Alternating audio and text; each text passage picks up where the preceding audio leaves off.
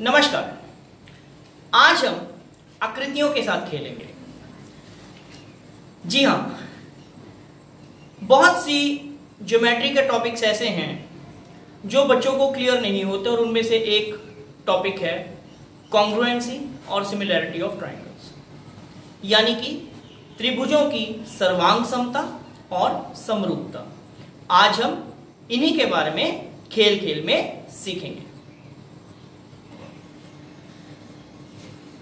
जैसा कि इस एक छोटे से मॉडल में आप देख सकते हैं हमारे पास बहुत तरह की आकृतियाँ हैं। आइए अब मैं आपको बारी बारी से दिखाऊँगा कि सर्वांगसम आकृतियाँ कौन सी होती हैं और समरूप आकृतियाँ कौन सी होती हैं। सबसे पहले ये दो वृत्त हमारे पास हैं।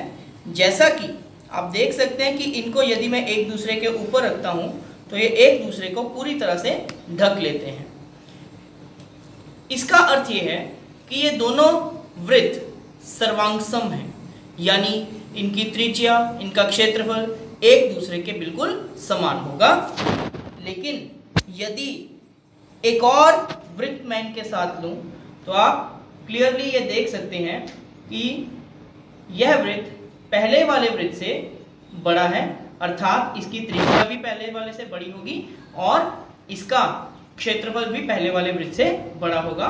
लेकिन ये वृत्त दोनों दिखने में बिल्कुल एक समान है, इसीलिए इन दोनों वृत्तों को समरूप वृत्त कहा जाता है।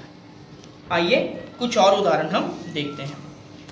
मेरे पास दो वर्ग हैं, यदि हम इनको एक दूसरे के ऊपर रखें तो ये दोनों वर्ग बिल्कुल एक दूसरे को कवर कर लेते हैं।